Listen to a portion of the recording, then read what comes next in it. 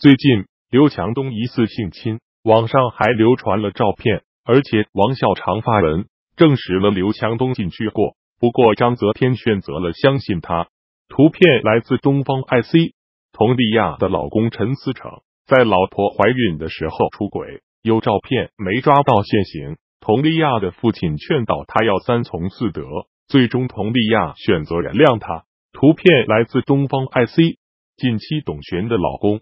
高云翔试孕内出轨案子正在审理，董璇挺着大肚子在中国和澳大利亚之间飞来飞去，请律师，董璇也选择原谅了他。我有点抱不平，一个愿打，一个愿挨。图片来自东方 IC，贾静雯之前跟孙志浩也是怀孕出轨嫩模，还家暴，打了几年官司，最终离了婚。没有忍气吞声的贾静雯跟小八岁的修杰杰结婚。又生了两个女儿，非常幸福。如果你的一半出轨了，你会选择原谅还是离去？